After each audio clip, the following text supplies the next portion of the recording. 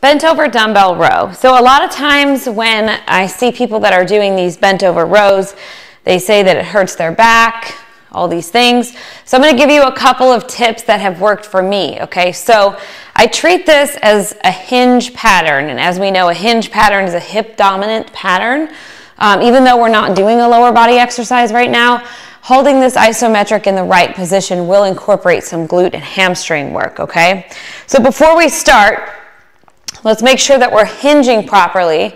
So the hinge, I always say, push the hips back, keep the shins relatively straight, just like so. Pretend you have a handful of groceries and you need to close the car door, right? So you would just like that, just to close the car door. Another cue that you would like to use is if you just went for a run and you're super tired and you were to put your hands on your knees like this, this is automatically putting you in a hinge position. As you can see, my back is relatively flat, my hips are pushed back, my shins are about 90 degrees, okay? So if you wanna do a bent over dumbbell row, this is how I would start, all right? So go ahead and pick up your dumbbells. We're gonna start in this position.